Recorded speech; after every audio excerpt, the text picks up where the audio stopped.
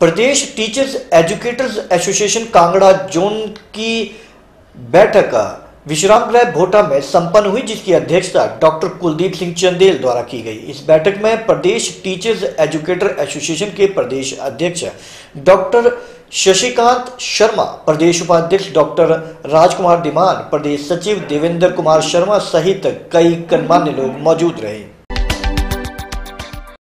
प्रदेश teachers educators association Kangra zone स्तरीय सम्मेलन विश्रामगिरी भोटा में संपन्न हुआ, जिसकी अध्यक्षता डॉक्टर कुलदीप सिंह चंदेल द्वारा की गई। इस बैठक में टीचर्स एजुकेटर्स एसोसिएशन के प्रदेश अध्यक्ष डॉक्टर शशिकांत शर्मा, प्रदेश उपाध्यक्ष डॉक्टर राजकुमार धीमान, प्रदेश सचिव देवेंद्र कुमार शर्मा व सह सचिव जय श्री सामंत्री और प्रदेश कानूनी सलाहकार डॉक्टर ओ पी भारद्वाज विशेष रूप से उपस्थित रहे सम्मेलन में टीचर्स एजुकेटर्स से संबंधित विभिन्न समस्याओं टीचरों की सैलरी व बीएड कॉलेज में छुट्टियों व स्पोर्ट्स के लिए नए कैलेंडर लगाए जाएँ। हिमाचल में लगभग बहत्तर बीएड कॉलेज हैं व और भी समस्याओं को लेकर विस्तार पूर्वक चर्चा की गई, जिसमें प्रदेश स्तर पर बीएड व डीएलएड के वार्षिक मूल्यांकन हेतु केंद्र स्थापित करना बीएड कॉलेज के लिए अलग से अकेडमिक कैलेंडर जारी करवाना यूजीसी एनसीटीई द्वारा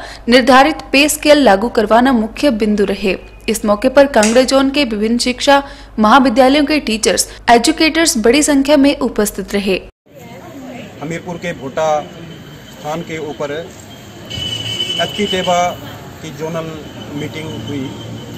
इस जोनल मीटिंग में जो हमारे विशेष मुद्दे थे, उनको डिस्कस किया गया, जिसमें सैलरी को लेकर के था, स्पोर्ट वैल्यूएशन को लेकर के था कुछ टीचिंग प्रैक्टिस में ड्यूटीज़ को लेकर के था।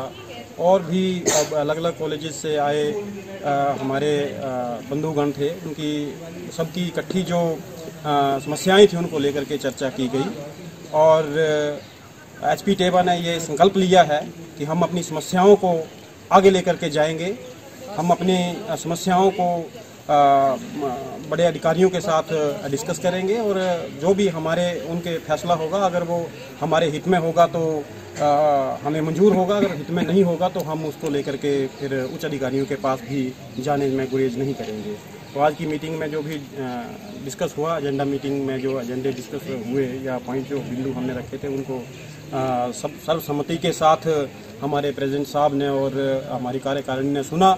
और उसके ऊपर हम आने वाले समय में संज्ञान लेने वाले हैं।